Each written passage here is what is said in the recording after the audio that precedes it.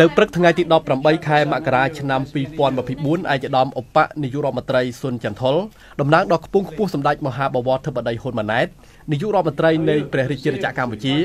បានអនុញ្ញាតឲ្យលោកស្រី Sophia Viger នាយិកាសាលា Ecole 42ចូលជួបសម្ដែងការគូសំនិងពិភាក្សាការងារក្នុងឱកាសនៃដំណើរបំពេញទស្សនកិច្ចផ្លូវការនៅប្រទេសបារាំង។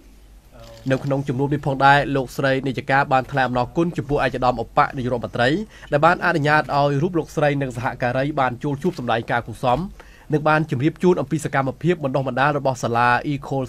42ដែលជាស្ថាប័នអប់រំមានភាពច្នៃប្រឌិតផ្នែកបច្ចេកវិទ្យាដែលផ្ដល់នូវការសិក្សាដោយឥតគិតថ្លៃជាមួយគោលបំណងក្នុងការផ្ដល់ឲ្យសិស្សានុសិស្សនៅជំនាញចំណេះដឹងសម្រាប់អាជីពផ្នែកបច្ចេកវិទ្យា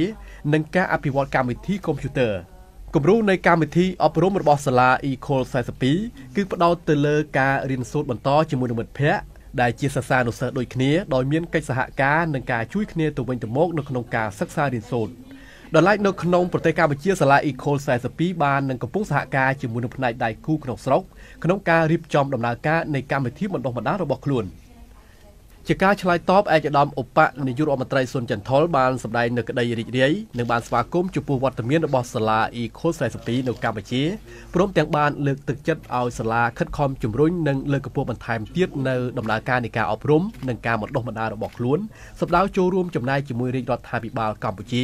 ក្នុងការអភិវឌ្ឍធនធានមនុស្សស្របទៅតាមដំណើរវិវត្តជឿនលឿននៃបច្ចេកវិទ្យាក្នុងសម័យបច្ចុប្បន្ននិងតាមគំរូជាក់ស្ដែងរបស់ទីផ្សារនៅកម្ពុជា។